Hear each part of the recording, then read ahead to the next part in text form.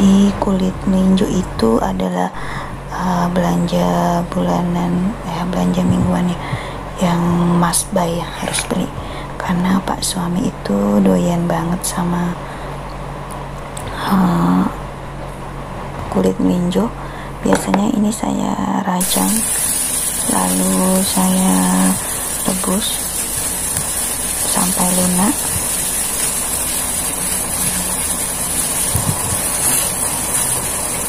ini saya utamakan dulu masih kuning ya karena biasanya lebih keras.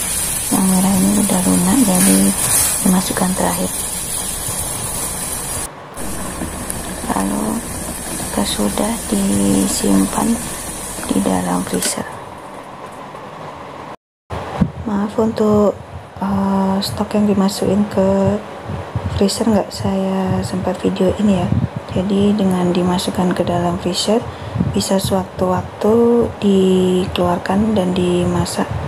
Jadi uh, masakan biasanya dibikin mie goreng minjo semoga bermanfaat